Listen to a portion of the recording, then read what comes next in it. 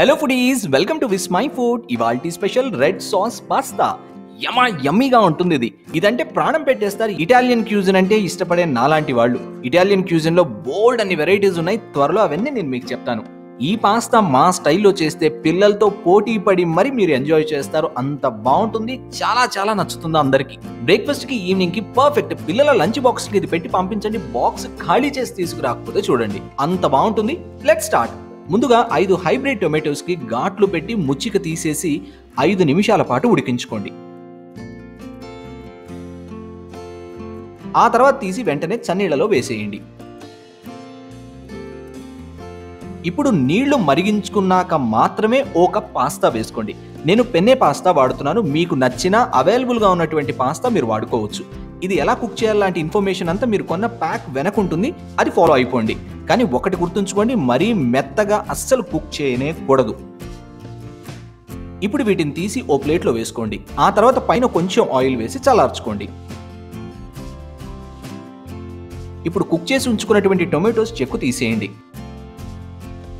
ఆ తర్వాత రెండు టొమాటోస్ని చిన్న చిన్న క్యూబ్స్గా కట్ చేసుకోండి.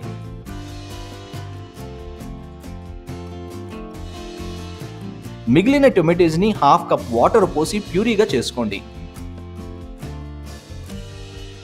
ఇప్పుడు రెండు టేబుల్ స్పూన్ల ఆలివ్ ఆయిల్ హీట్ చేసి అందులో ఓ టేబుల్ స్పూన్ బటర్ వేసి మెల్ట్ చేసుకోండి. ఇప్పుడు మూడు వెల్లుల్లిపాయ తరుగు రెండు టీ స్పూన్ల ఉల్లిపాయ తరుగు వేసి వేయించుకోండి. ఈ అనియన్ గార్లిక్ ఆలివ్ ఆయిల్లో వేగుతుంటే భలేగా ఉంటుంది ఫ్లేవర్. ఇప్పుడు రెండు మూడు టేబుల్ స్పూన్ల క్యారెట్ క్యూబ్స్ వేసి ఓ నిమిషం పాటు వేయించుకోండి. ఆ తర్వాత పావు కప్పు క్యాప్సికమ్ క్యూబ్స్ వేసి మరో ముప్పై సెకండ్ల పాటు వేయించుకోండి. ఇప్పుడు పిడికెడు బఠానీ వేసుకొని వేయించుకోండి. మేము ఫ్రోజన్ బఠానీ వాడుతున్నాం ఇది త్వరగా కుక్ అవుతాయి. మీరు కానీ ఫ్రెష్ బఠానీ వాడుతున్నట్లయితే ముప్పై నిమిషాలు వేడి నీళ్ళలో నానబెట్టి వాడుకోండి అప్పుడు సాఫ్ట్గా కుక్ అవుతాయి. ఇప్పుడు టొమాటోస్ ప్యూరీ టొమాటో పల్పు వేసి రెండు నిమిషాల పాటు కుక్ చేసుకోండి.